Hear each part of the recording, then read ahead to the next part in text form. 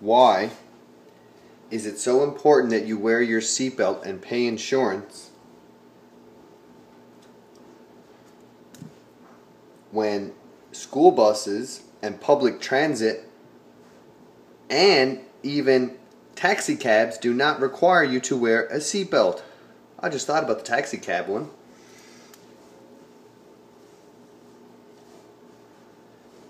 That's a question everybody should ask. Also, why do cops have quotas at the end of the month?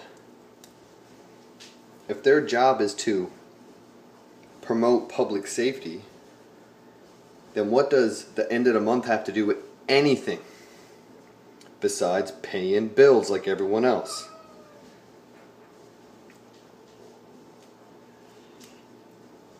This is one tidbit of information that shows there is something fishy going on in the police department, in the whole automobile department, the whole industry in general, not to mention the quality of the vehicles. Now we're hearing about the buses being taken off the roads because of the poor conditions. Are you kidding me?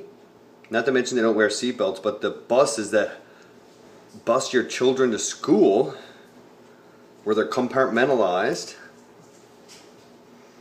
and bred to be slaves are not even safe.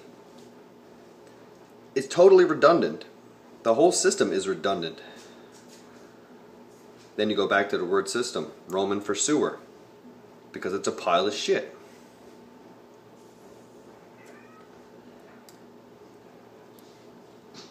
They're fucking with your brain.